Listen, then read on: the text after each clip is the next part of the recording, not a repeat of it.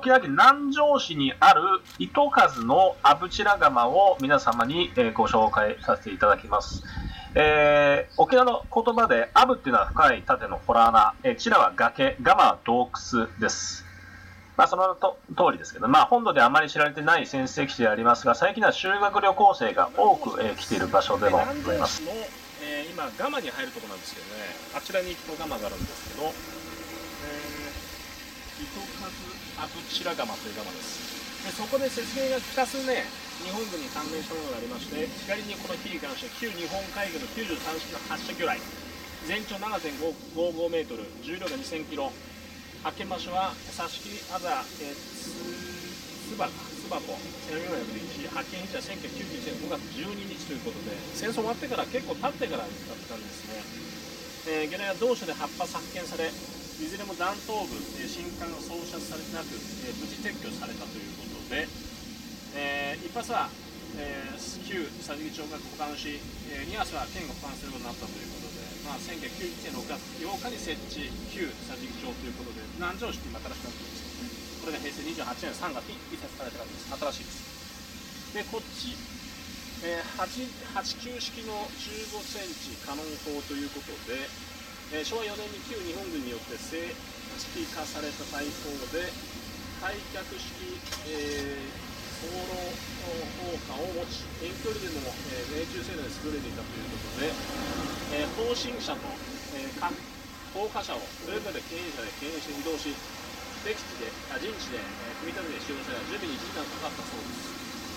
で1945年3月に旧日本軍の陸軍独立重砲兵第100大隊が赴任した際に疑問が廃止されたしかし沖縄戦においては連軍とあまりに大きな物量の差によりこの効果は乏しく1%と何十何百という羽を受けたと言われていますこれが平成15年12月に大田村の教育委員会がったのでこれ現在法としてはね、えー、靖国神社の優秀化でも展示されているということです。靖国神社行った時に確かにあのあれがねあったなって感じはしたんですけどね。これが右が魚雷で左がカノン砲ですね。89式の、えー、15センチのカノン砲昭和4年に旧任務によって正式化された大砲で飛び込みです。つまり靖国神社に優秀館に入ると、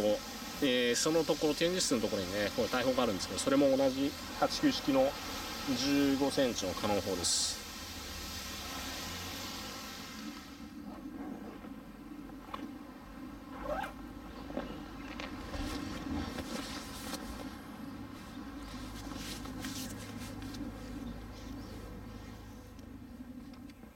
で今、えー、糸数の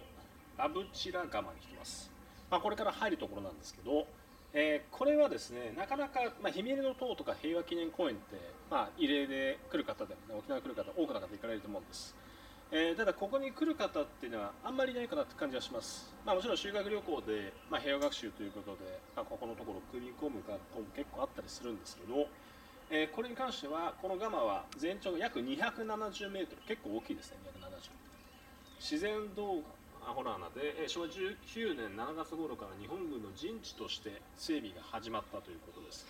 えー、20年3月23日、え、南部が艦砲射撃を翌24日から糸数の住民約200名がこのガマに避難したということです。もちろん艦砲射撃で飛んできますので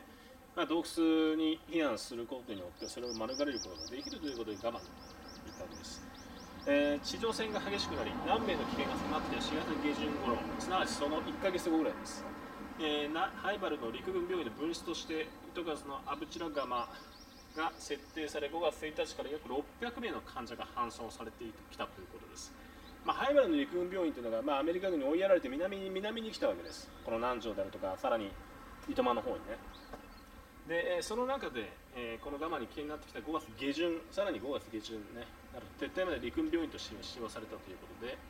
病院の撤退後は重症患者が置き去りにされ米軍からの攻撃もたびたび受け悲惨を極めた事故芸が展開された。しかしこのガマのおかげで生き延びた人たちがいることも忘れてはならないのが事実です、えー、このガマで亡くなられた方々の伊藤さん戦後5月住民の関係者によって亡くなられて、えー、党に合死されたということです。まあ今こんな感じでね見てきてるんですけどね。まあ、これからちょっと入ってきます。なので 270m ということで一時はこの住民は避難して病院も置かれた場所でございますけどね。いただくと、えーまあ、病院でもスカーレットということで、まあ、左側見ている脳症患者脳症にかかってしまう破傷風ということで、まあ、傷を負ってしまうと破傷風にかかるってことだだから皆さんもどっか行く際に傷に負ってしまって破傷風を負ってしまうってこともありえるのでそういったところはね、えしっかりと、え破傷風のワクチンとか打った方がいいかなって感じがします。でベッド病棟便所もあって空気口空気がないと生きていけませんからね酸素が供給されずに死んでしまいますから。で、えー今いるところがちょうどその上です現在地の。でかまどがあって病棟病棟ということで食料の衣服の倉庫。で監視所なんかもあって住民区域が右側の方です。まあこんな感じです。だから今からちょっとこれ入ってきます。全てをこれは見ることができないんですけど一部ということですけどね。あ一部といっても結構見ると 270m ですからね。うん。270m のうちの結構な部分は見れると思います。今から行ってきます。